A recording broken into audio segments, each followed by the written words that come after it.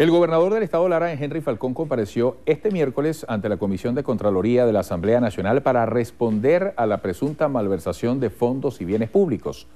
El presidente de la Comisión de Contraloría, Pedro Carreño, insistió en que la gestión de Falcón ha sido un desastre financiero. Dijo que hay 98 millones que son parte del presupuesto que no se sabe en qué han sido invertidos. Lo dijo el diputado. Recursos eh, que no se ejecutan en la banca privada eh, interactuando en el sistema financiero, ganando intereses, y resulta entonces que la salud está en una situación de crisis alarma roja. Henry Falcón indicó que esto era un pase de factura por ganar en las pasadas elecciones.